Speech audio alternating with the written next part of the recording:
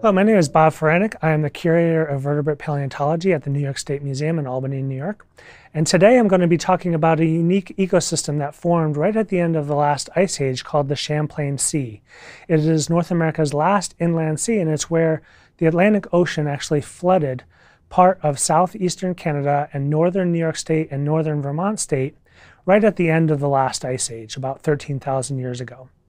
When we talk about the ice age, we typically think about a singular period, like a single period when it was really, really cold. But the Pleistocene epoch, when we refer to the, the geology of the ice ages, um, is really a time period from about two and a half million years ago to about 10,000 years ago that is defined by climate change. And it is defined by warm interglacial periods and cool glacial periods. And currently we are in a warm interglacial period. And as you can see in this uh, slide from about 450,000 years ago, we've gone from these warm glacial interglacial periods to cool glacial periods many times over that time scale. And it has occurred many times over the past two and a half million years. The last time we were in a glacial period was about 25,000 years ago. And it was at the height of this cold period, what we call the last glacial maximum. Sometimes it's referred to as the LGM, last glacial maximum.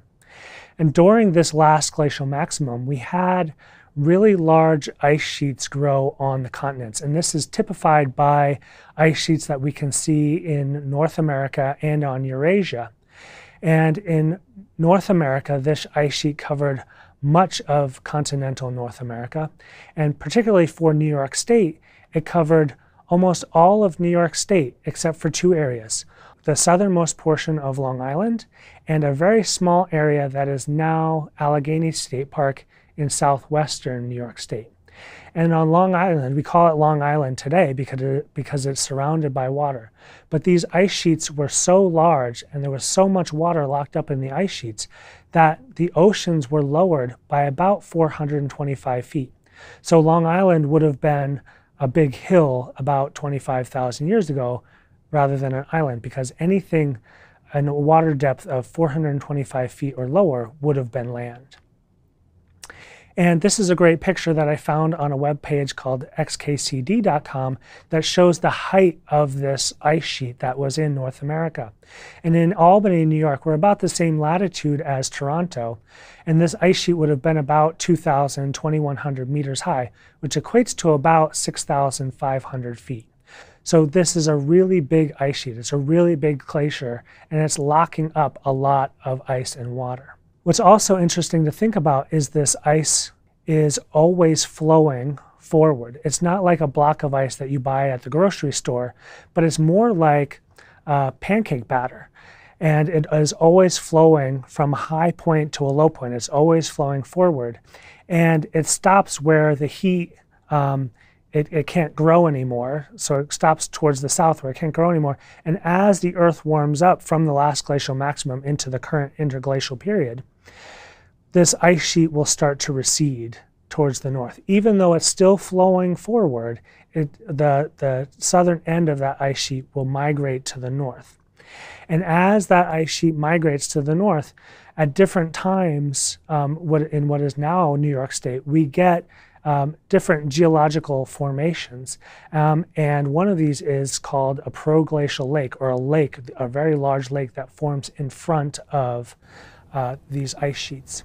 And we have, we, you can see these in the picture um, on the slide, the rightmost picture, that we have a large lakes forming, we're in the Finger Lakes region and also in the Hudson Valley about 13,000 years ago. Once this Laurentide ice sheet, this ice sheet that's covering North America, recedes north of the St. Lawrence River mouth, um, because the ice sheet was so big, it actually forced the crust of the Earth below sea level. And once that ice sheet recedes north of the mouth of the St. Lawrence River, instead of the St. Lawrence River flowing from west to east out to the Atlantic Ocean, the Atlantic Ocean actually floods this area of northern New York State, northern Vermont, and southeastern Canada from about 13,000 years ago to about 9,000 years ago. And it is a complete marine ecosystem. And we have many, many fossils um, of mammals and fishes and invertebrates like clams and snails that have been found in the sediments um, from the Champlain Sea. And this is a picture that I took in Iceland of a tongue of a glacier from one of the ice sheets that's still on Iceland. And what I wanted to point out here is that these ice sheets aren't crisp. They're not clean ice. They're actually really dirty ice. And as they're flowing, they're depositing rocks and sand and sediments in front of them. And you can see in this picture these hills of this rock and sand and sediment on a small scale um, in, near, in Iceland. But if we think about it in, um, on a continental scale, we will get the deposition of um, these glacial sediments Eh, from different habitats onto the landscape, and we can see this in New York State. And this is a slide from a colleague at SUNY Plattsburgh called Dr. David Franzi. And he provided this slide, and it, what I really like about it is it shows the different sediment from the geology. This ice sheet, when it came through, scoured the landscape down to bedrock. And then as that glacier is flowing, it's depositing sand and silt, which we call glacial till, which is the green uh, portion of this slide. And then as that ice sheet recedes and you have lakes form in front of the glacier, the proglacial lakes, we get lake clays. And then once that Laurentide ice sheet recedes to north of the Saint, mouth of the St. Lawrence River, then we start to see marine or form in the sediments. And then once the crust starts to rebound because the ice is no longer on top of it, and the seaway starts to, it's now being forced out to the Atlantic Ocean, we get deposition of sands, more like beaches. And then finally, on the top of um, these sediments, we start to get the soils that we see today. So we can read and we can learn about the Champlain Sea just by looking at the geology. And within these sediments, we also find fossils of animals that lived in the Champlain Sea.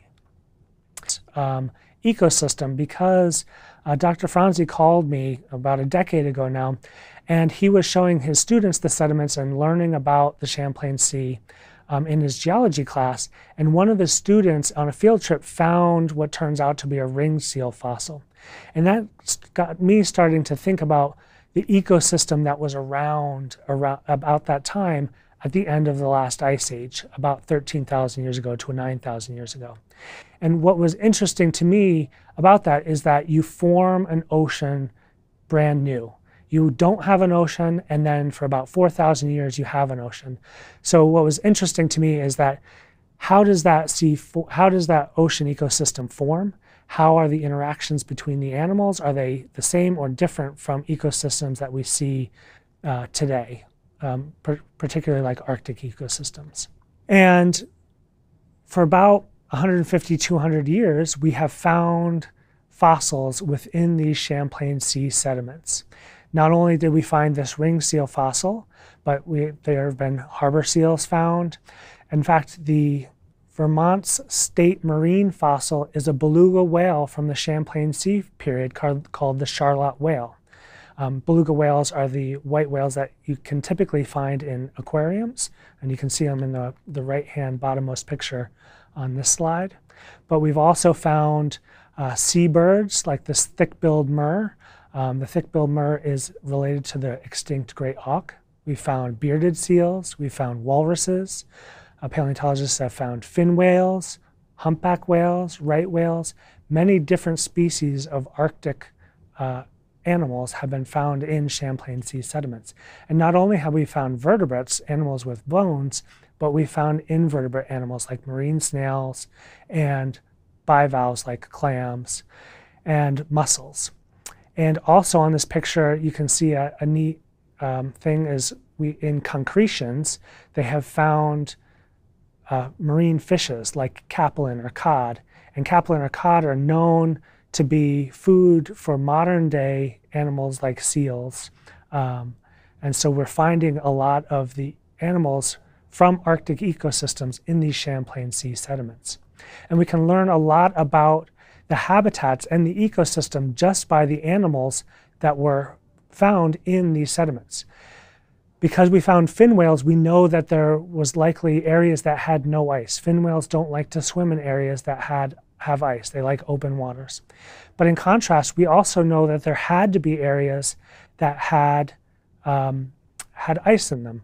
So ringed seals and walruses are known to prefer to have ice. Walruses feed on bivalves, they feed on clams, and then when they get tired, they need a place to rest. So they come up and they rest on ice that's thick enough to hold their body weight. We also know that there were harbor seals, and harbor seals need beaches. So there had to be beaches available for harbor seals to live. And then we have these beluga whales that are found all over the Champlain Sea. And beluga whales are very wide ranging, and they even sometimes investigate rivers. So we've also have at the New York State Museum specimens from the Champlain Sea that we can we've collected and we learn about um, the habitats and what was in the Champlain Sea. And I brought one of those specimens with me. This is the fossil of a beluga whale that was found in Norfolk, New York. Um, this is the top right portion of the skull. And in this portion of the skull, you can see that there is, this is where the blowhole would be. And if I flip it over, this is where the teeth would have been in this beluga whale on this portion of the skull. I've also brought with me from the same specimen, and we have a decent portion of the entire skeleton um, of this animal. This is a vertebrae. So you can see the preservation. It almost looks like it's a modern day animal skeleton. So we can learn a lot about the ecosystems from the mammals, but we can also learn a lot about the ecosystems from the marine invertebrates, things like bivalves, the clams. Different species of bivalves prefer to live at different water depths. So some species of bivalves like to live closer to shore and some species like to live further off from shore. So if we can identify the different species, we can get an idea about how much water, what was the water depth at a particular time in a particular area, just by looking at the different species of bivalves that were, that were found in the sediments. And also, one of the things that I do is I can look at chemicals in teeth and bones, and I focus on the teeth and uh, tooth roots and bones of uh, animals. And we can look at the chemicals in those and understand things about where they were living and what they were eating and what trophic level they lived at in those ecosystems. And then we can compare the data that I have from the Champlain Sea to modern day ecosystems to tell whether it was the same or whether it was different. And one of the things that we found out by looking at um, the chemicals called carbon isotopes or nitrogen isotopes or oxygen isotopes is that the chemical signal of the animals that lived in the Champlain Sea, like the walruses or like the beluga whale or like the fin whale, are very similar, almost exactly the same as the chemical signal of animals that we find in modern Arctic marine ecosystems. So the ecosystem of the Champlain Sea and the interrelationships between those and among those animals is the same that we have in modern day ecosystems. So the Champlain Sea ecosystem was very similar to modern day Arctic ecosystems. So this was as a unique habitat, a unique ecosystem that we had in New York State, in northern um, Vermont and southeastern Canada, that we only had for about 4,000 years, but we can learn a lot by looking at the geology and the animals, the fossils that lived in that ecosystem. And I'm going to leave you with this slide. This is a close-up picture of Vermont's state marine fossil, the Charlotte whale, which is a beluga whale um, from the Champlain Sea. Thank you.